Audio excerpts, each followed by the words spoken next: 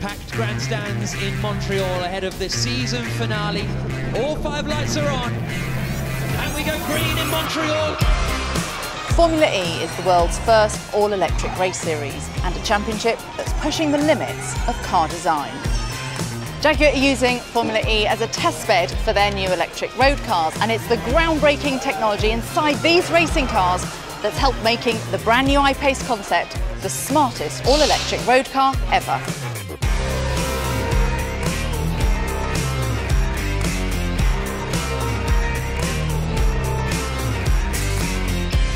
Circuit here at Montreal is full of long straights and tight corners.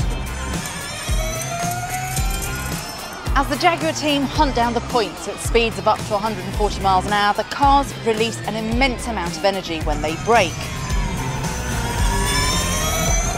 So, rather than wasting this energy, Formula E race cars and Jaguar's electric road cars use technology called regenerative braking.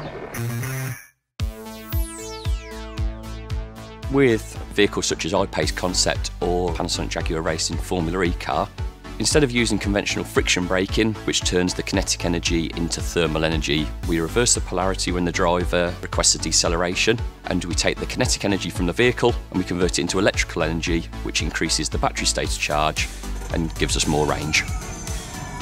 Regenerative braking is hugely important in Formula E. We only have 56 kilowatt hours of energy to complete the whole race. So any energy we can harvest during the race is extra performance for the vehicle. Because Jaguar are transferring technology like this from our race cars to our road cars, you can now travel even further on a single charge. Making the I-Pace concept an all-electric SUV with supercar capabilities and a design that's as unique as its performance.